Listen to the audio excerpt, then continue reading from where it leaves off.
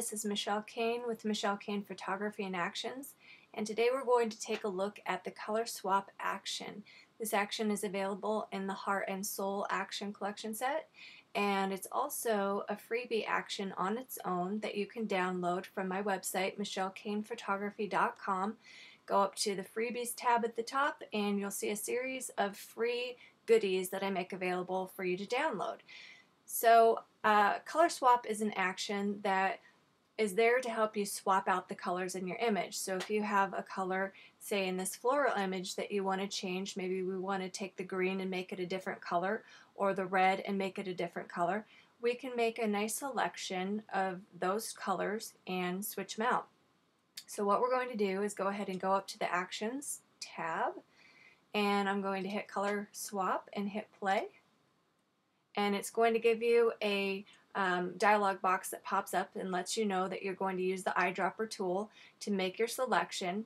It's going to create a white overlay in the dialog box that will pop up and the white will represent your selection, the color that you're choosing to change, and the black will represent the colors that won't change. It also lets you know that you can click the eyedropper tool to add to the selection or subtract to the selection. I'm going to show you how to do all this, so we'll hit continue. And here it's telling us again about the minus eyedropper tool and the fuzziness slider, so we'll cover that here. And what's going to pop up is this uh, dialog box here, and you can see it's already made a selection for us. So again, this that you're seeing here, this box with the black and the white, this is a layer mask. This will turn into a layer mask in your layers palette. And what a layer mask is, black is where the effect is not shown, white is where the effect is shown. So right now, what we have selected is pretty much this uh, red flower. Now, if I want to say, no, we don't want to pick the red flower, let's maybe pick the green in the picture. I already have the eyedropper tool selected, and now I've clicked up here on the green, and you can see the mask represents that I've selected tones that are more in that green family. And if I want to add to the selection, again, here's your plus eyedropper, here's your minus eyedropper.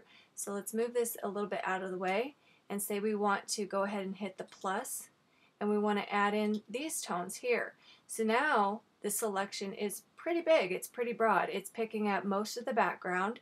It's not really picking up this dark spot here. You can see that represented it. And you see that it's also picking up some of the tones down here in the flower. If now we want to subtract from the selection and say, no, I don't want any of this yellow, and I just keep subtracting out the yellow, then I'm really just selecting the green in this case.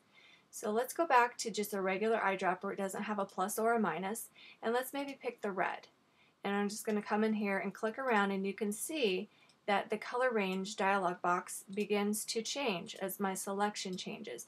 I'm not adding or subtracting to the selection here because I just have the plain eyedropper. I'm just picking a selection. Now I can continue to add to it and say now pick up these lighter tones and now the entire thing is selected pretty much. Um, it even selected a little bit up in here. Now another thing I'm going to go back to this regular eyedropper tool and we'll pick kind of a red and we have the fuzziness slider. Now the fuzziness slider will go ahead and continue to add into your selection or subtract from your selection. So you don't have to necessarily use the plus or minus on the eyedropper. You can utilize this fuzziness slider. So I want to pick a selection and what's nice about this particular way to make a selection is that the selection is going to kind of mesh into um, the entire picture easily and nicely. It's not going to be a harsh selection with really rough defined edges. It's going to be a nice kind of incorporated selection into the picture. So let's say we have this uh, flower pretty much selected and we'll hit OK. Actually, you know what? I'm going to drop that fuzziness down just a little bit. And what's going to happen is it'll give you a dialog box letting you know if you're a CS2 or 3 user, you need to go ahead and click in your layers palette on the hue and saturation layer to open up the adjustment to make the adjustment. And if you're a CS4, 5, or 6 user, we can just come to our adjustments panel and there's our adjustment that we're going to make. It's going to tell us also that we can use a black brush to paint over any of the areas that we didn't want the color changes to affect. We can also add to the selection with a white brush. So now that we have this, let's go to our layers palette and we'll be able to see that it made a mask, a layer mask that is attached to this uh, hue and saturation adjustment. We've also got a, um, a little snapshot basically of our original color. So what we have here is a mask and we, nothing has changed so far because we haven't selected any changes to make. That's where your hue and saturation sliders come in. So let's just say we come in here and we change the hue and bring it to something blue and you know really obvious. Now here's what I was talking about how the selection is kind of nice and graduated um, no real harsh lines, but definitely this isn't a believable look. So my suggestion is to pick colors and change colors um, slightly, varying it based on the picture. Uh, maybe it's a little bit more realistic to make this purple because it meshes into the existing red a little bit better than if I were to make it green. That just isn't really a believable transition there. So if we make this purple, and maybe we want to take the saturation down a little bit or we can increase that saturation until your retinas burn out of your eyeballs. That's an option too.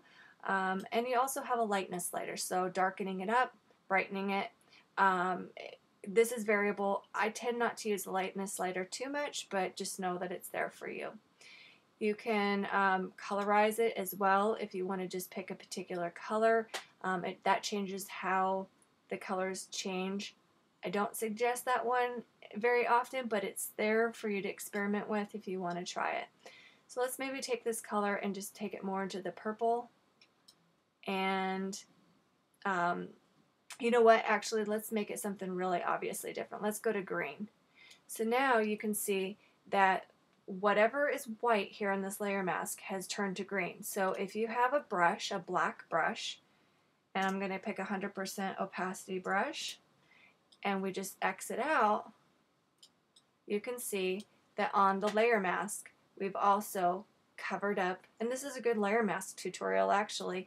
It shows you that wherever you painted with black, this uh, color swap effect is covered up. Wherever it's white, it's showing. So let's undo those two things. If maybe you've gotten out of the lines, maybe you're doing something like a woman's lip color, and maybe you've selected something uh, and it picked up some reddish around the eyes, you could always use your black brush and wherever it's showing in the eyes, just come in lightly and start to remove off of those areas. And again, if you pick a green and you decide, you know what, that's not the color I want, let's go back over here to purple, you can come in because it's an adjustment layer and make that change. Now we can take this whole layer in the layers palette and drop down the opacity if maybe we want to have it a little bit less. And now we've got a little bit different color on the picture from the original. And we're going to look at another picture here. We've got this uh, really red popping shirt here, and I want to just take the red that's existing in the shirt and take it to a new color. Maybe we'll tone down that shirt so it doesn't pop out so much. So again, the Actions palette, color swap, hit play. Again, our little dialogue telling us how to make the selection and come in here and we pick the little eyedropper on a red or maybe we pick the blue. You can see how the selection changes here. So we're going to pick the reds and we can increase the fuzziness slider. So it's really picking up more of the detail of the reds. If we go all the way we can start to see it picks up the face and this is where we would want to mask out our color change so that we don't remove the red that's available that's there in his face so we'll just drop down that fuzziness slider until we don't see it selecting any of the face. Hit OK.